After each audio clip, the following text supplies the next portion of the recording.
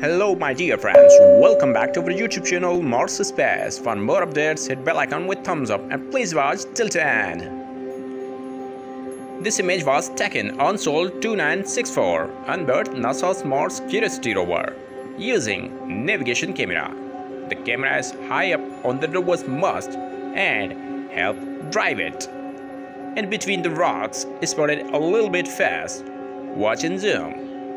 It looks like a face cut, possible face-off creature of the red planet or a just rock.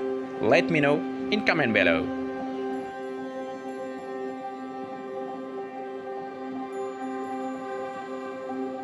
Images were captured on 7 June 2022 Martian A461 from NASA's Mars Perseverance rover using its onboard navigation camera. If you like my video, hit thumbs up and don't forget to share to your friends. Stay connected with us. Thanks for watching.